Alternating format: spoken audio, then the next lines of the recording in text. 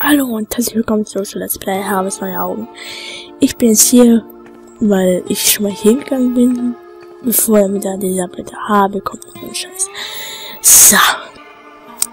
Die Geier kreisen über verfaultes Essen oder verdommeltes Fleisch, wie auch immer. Und da, wenn gleich der Scha Goldgräber in, in die Mine geht, tut es diese Cash Cow dahin führen. das Junkfood heimlich in die Satteltasche. Es sollte eine Überraschung werden. Da ja dann die Geier darüber rumkasen, also weiß dann auch, wo die Mine ist, ne? Um. Howdy, willst du mich dann vergessen? Lilly hatte keine... In aber konnte es sich bei ihm um eine weitere Manifestation ihrer Blockaden handeln? Vielleicht lohnte es sich ja doch nach... Vergiss, ich werde dir und solange du... Bisschen Arsch. Ah, meine Mine ist gut versteckt. Hm, eigentlich sollte ich mal wieder hinreiten. Ich ist da eingeritten, oder was? Natürlich.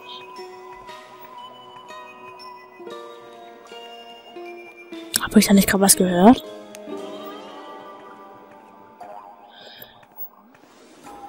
Okay.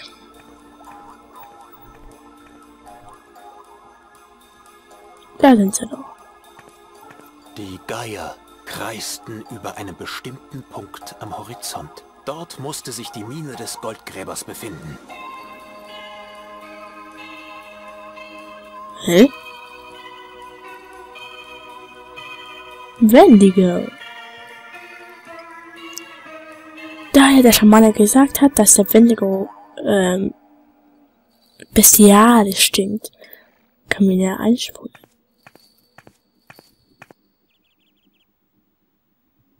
Bist du verrückt? Lass das. In diesen Spraydosen ist tonnenweise FCKW. Hä? Wenn das Zeug in die Atmosphäre gerät, haben wir ratzfatz ein Loch in der Ozonschicht. Du willst doch kein Loch in der Ozonschicht, oder? Na, siehst du. Ähm, doch, möchte ich. Also, Es war so heiß, dass die Luft nach Ozon roch.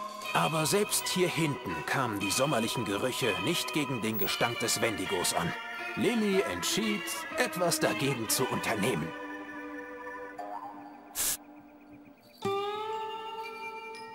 wow. Was war denn das? Oha, der Himmel sieht seltsam aus. Da könnte ein Ozonloch auf uns zukommen. Geile Das Scheiße. ist nicht gut. Wo ist meine Sonnencreme? Ah, da ist sie ja.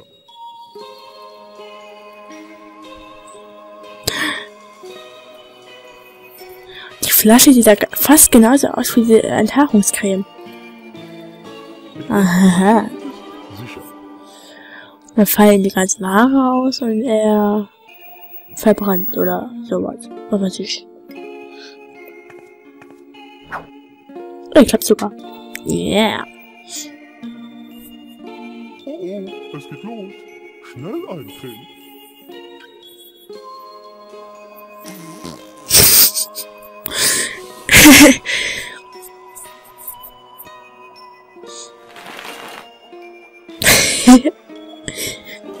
Sehr interessant, ja. Schöne Scheiße.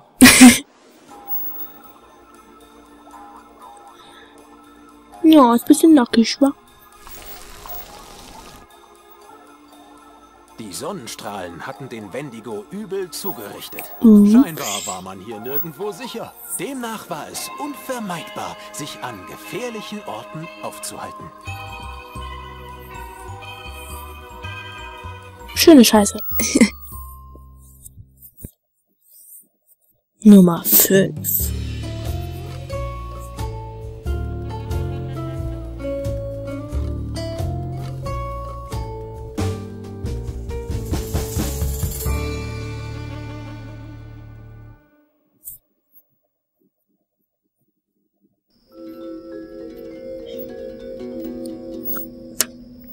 Da auch jetzt ins Versteck rein?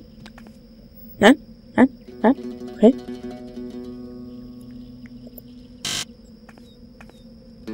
Ach. Verbot.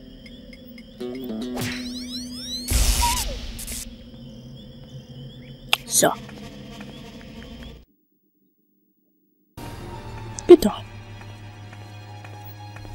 Lilly war endlich am Ziel ihrer Reise angelangt. Sie hatte tausend Gefahren getrotzt und schließlich stand sie nun hier, in Ednas Versteck.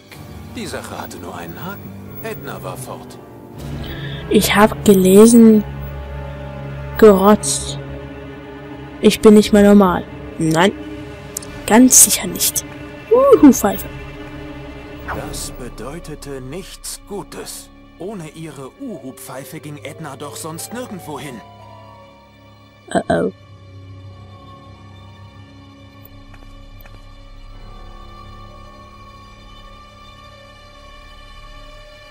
Ah, sehr interessant.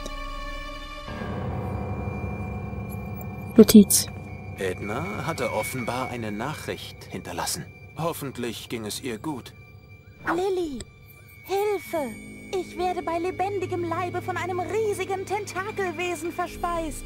Ah, ah. Dun, dun, dun, dun. Nur ein Spaß. Mir geht es gut. Ich habe gerade durch mein Fernrohr die Brücke am Fluss beobachtet.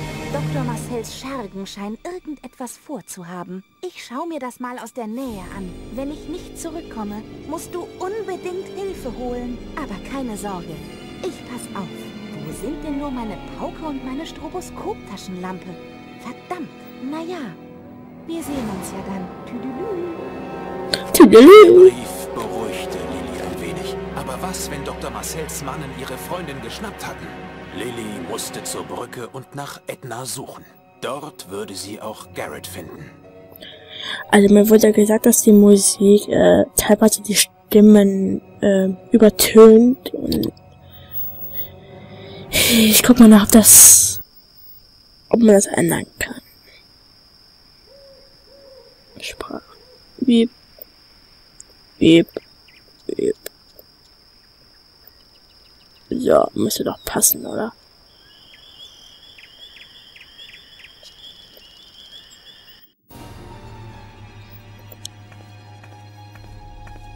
Ja, gehen wir mal zum Fluss, wo Edna äh, hingegangen sein soll.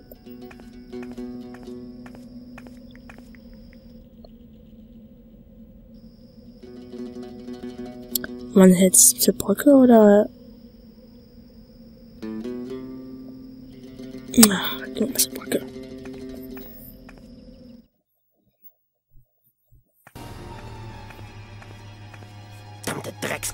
Ist das zu fassen? Endlich haben wir die Kleine gefunden und jetzt springt der Wagen nicht an. Soll ich vielleicht schieben? Der Wagen hätte schon seit Monaten zur Inspektion gemusst. Aber seit dem Unfall lässt der Doktor einfach alles schleifen.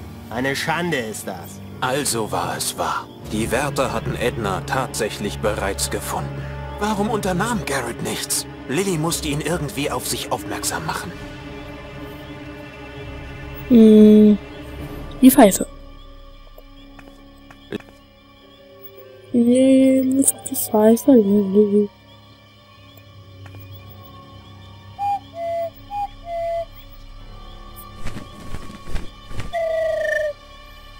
Es war hoffnungslos. Lilly würde Garrett niemals auf sich aufmerksam machen können, solange der Uhu ständig dazwischen funkte. Mir ist die Sprache jetzt doch ein bisschen zu laut. Ähm. Muss ja auch so passen, oder nicht? Ähm. Guckt der Album, das Karte. Uh. Kann ich irgendwie. Hast du auch was gehört? Ich weiß nicht. Hoffentlich nicht schon wieder eins von diesen Säbelzahnwildschweinen. Ich bin immer noch ganz aus der Puste. Puh.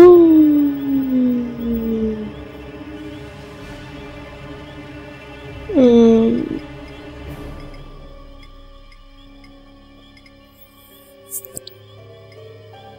Oh, mir fällt da gerade nichts ein. Ja, Mist. Auf diesem Baum hatte es sich ein Uhu bequem gemacht.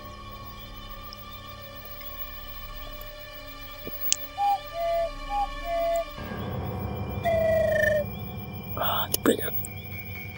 Ey, lass das.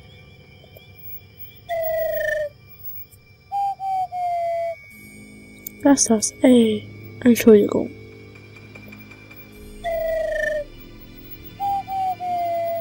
Ah.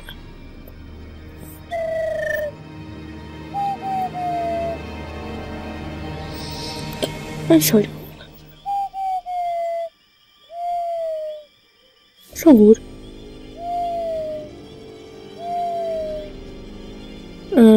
Äh, ey.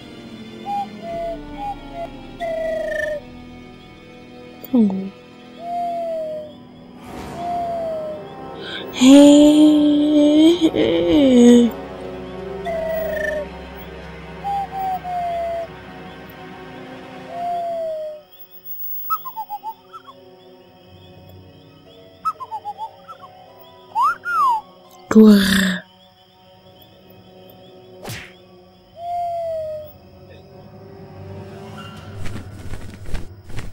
Endlich konnte Lily Garrett das vereinbarte Signal Hä? geben, ohne unterbrochen zu werden.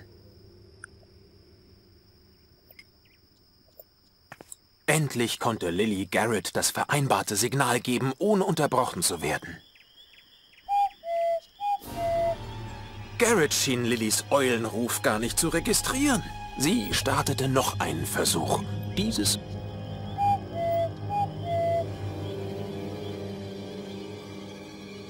Hast du das auch gehört? Da ist doch jemand. Warte mal. Das haben wir gleich. Uh oh.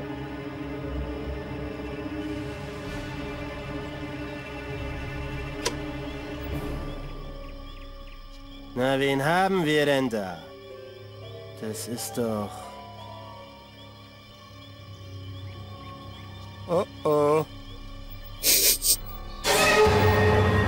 Heilige Scheiße.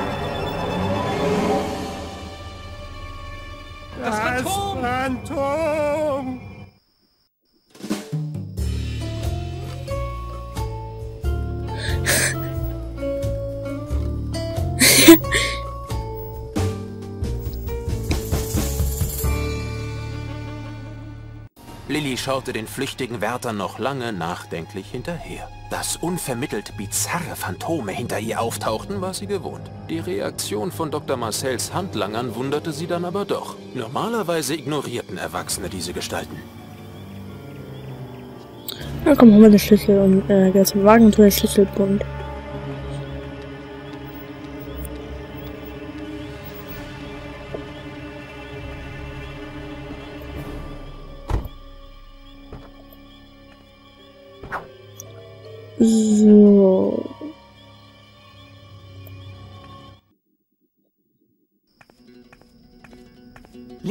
So ein Glück. Ich dachte schon, sie hätten dich erwischt.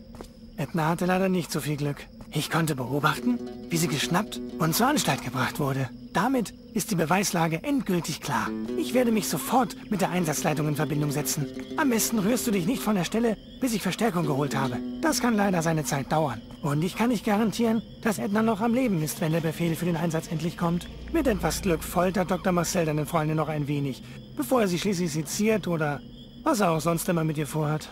Das würde uns etwas Zeit verschaffen. Wahrscheinlich muss sie sich von einigen Zehen oder Fingern verabschieden. Naja, sei es drum. Du wartest auf jeden Fall hier. Ich hol dich dann morgen oder spätestens übermorgen genau hier ab. Wobei übermorgen ja Feiertag ist. Naja, du wirst es ja sehen. Warte es einfach ab. Lilly hätte sich wirklich gerne an Garretts Anweisungen gehalten. Aber nun, es gab triftige Gründe, das zu tun, was sie stattdessen tat. Weitergehen.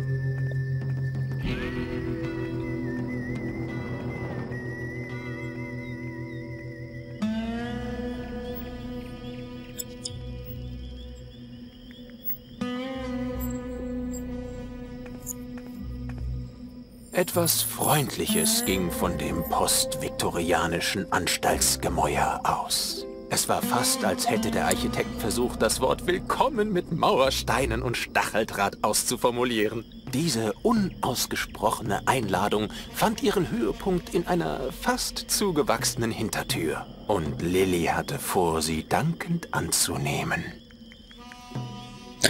Ja, ich bin jetzt aber mal im Part hier und man sieht sich dann im nächsten Part. Haut rein, Leute. Ciao.